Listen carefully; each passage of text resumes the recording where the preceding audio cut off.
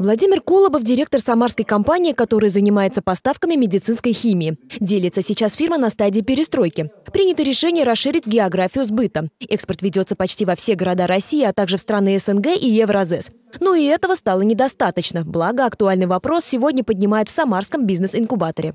Много поднимается вопросов, которые, скажем так, нас, возможно, заинтересуют, в том числе про центр поддержки экспорта – про их э, условия работы, про их методы и предложения пакетные. Вот мы обязательно постараемся воспользоваться. Конечно, рынок сбыта, информационная поддержка сейчас очень важна для российских экспортеров.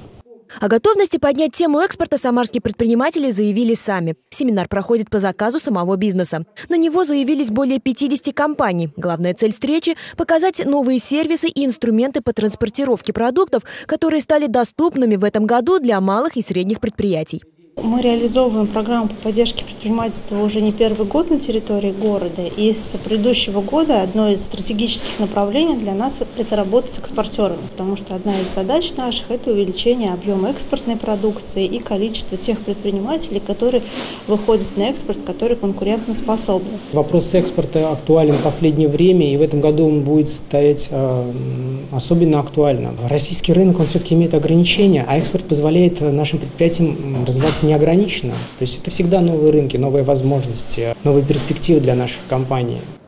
Более 400 самарских малых и средних компаний получили поддержку в решении экспортных задач в минувшем году. В общей сложности тогда подписали более 90 экспортных контрактов на сумму 32 миллиона долларов. В 2021 году планы не менее амбициозны. Минимум 70 контрактов и поддержка экспорта на сумму не менее 31 миллиона долларов. Также в этом году запланирована серия подобных встреч. В том числе целая неделя будет посвящена теме маркетплейсов с организацией B2B встреч. Гульфия Сафина, Григорий Плешаков. События.